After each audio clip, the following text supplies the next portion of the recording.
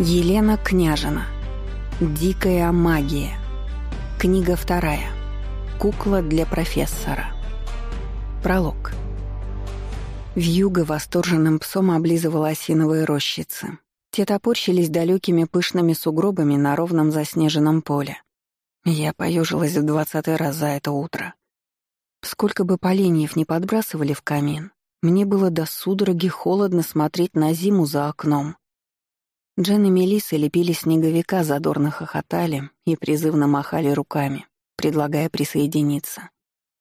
Но после километровой прогулки в заиндевевших туфельках идея выйти на мороз не казалась мне привлекательной. Вот совсем. В первых числах января принято подводить итоги прошедшего года и строить планы на грядущий.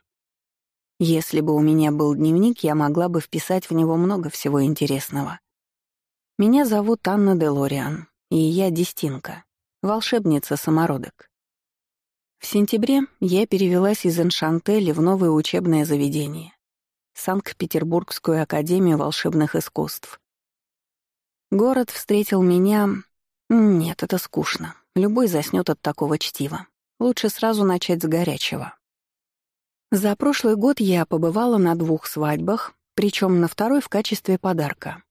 Дважды я чуть не стала жертвой домогательств, трижды меня пытались убить или больше. Я сбилась со счета. Похищение одно, обезволивание одно, попытка принуждения к... Нет, вспоминать про Кивана было выше моих сил. Круглое ухоженное лицо заняло место Тильды и в моих кошмарах, и на серебристой Пандоре. Мне всюду мерещился его гадкий сладковато-мыльный запах и даже драки с заговоренной боксерской грушей не приносили удовлетворения. А еще...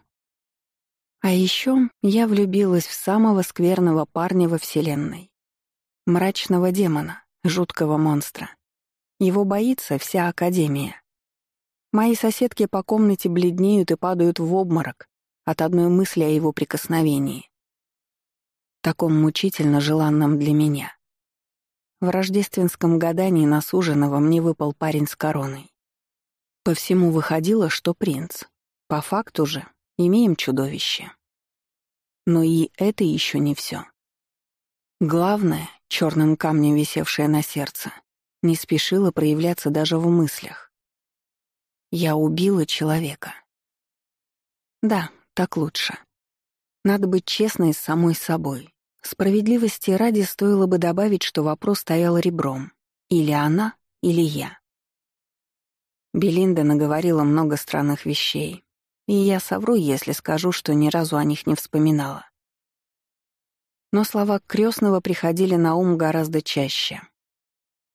«В твоих интересах, девочка, никому об этом не говорить, пока кто-нибудь не подхватил брошенные Белинды и знамя Инквизиции. Хоть и считается, что Дестина благоволит сама судьба, но я — сущий магнит для неприятностей. Меня избрало жертвой братства арканов, темных магов с грязными неведомыми мне целями. Им нужна моя кровь. Всего лишь. Я с тоской глянула на Джен за окном, разрумянившуюся и счастливо копошащуюся в снегу. Находиться рядом со мной опасно. Я всерьез беспокоилась о ее благополучии. Из-за меня на больничной койке оказалась Элайза, милая и рациональная соседка Дженевьевы. В те минуты, когда не пытается никого огреть эклерией. Да и Кивану Кавендишу я подписала смертный приговор, о чем почти не сожалела. Были и другие жертвы игры, затеянные арканами. Лукреция, супруга нового главы братства, внезапно утонула в озере. На днях выяснилось, что она приходилась родной теткой Мелиссе, жене моего куратора. Перед несчастным случаем выглядевшая безумная женщина успела поделиться со мной пророчеством. Слова впечатались в память так крепко, словно их выгравировал старательный ювелир. Кап-кап.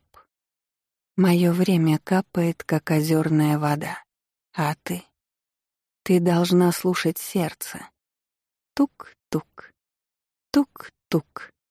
Иногда оно бьется неправильно. Черные глаза, очень черные. Ты должна им верить. Всегда. Даже когда сгустится мрак, и ты встанешь над темной водой, иди за черными глазами. Карты не соврут, но они ошибутся. Два принца. В обоих кровь королей. Одного выберет она, другого выберешь ты. Борись, отстаивай свой выбор. Потому что выживет только один. Озерная вода умеет хранить секреты. Меня призывает сияющая глубина, но тебе туда еще рано. Два принца. Судьба снова издевается. Мне и на одного терпения не хватает. Мой синий потертый блокнот распух от догадок и конспирологических теорий. Артур уверен, что родители умерли не случайно. И я с ним согласна. Кто-то хотел напугать меня и всколыхнуть дестинский дар. Но магия выплеснулась лишь спустя полгода. Спровоцировала его Тильда, жестокая девица из интерната. Следующие шесть лет с маниакальной настойчивостью консультанта года она заявлялась в мои кошмары. Но не теперь. С незабвенной рождественской ночи ее место занял рыжий лорд-извращенец.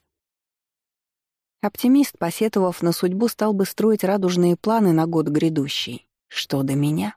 Не смешите мою палочку. Мое зыбкое будущее боялось слова «планы», как живого инквизиторского огня. Да и что я могла там написать? Дожить до магического совершеннолетия? Будет непросто, но я постараюсь. Разобраться со спрятанной в подвале гигантской икринкой, из которой вот-вот вылупится неизвестное волшебное существо? Без проблем. Да и что может пойти не так?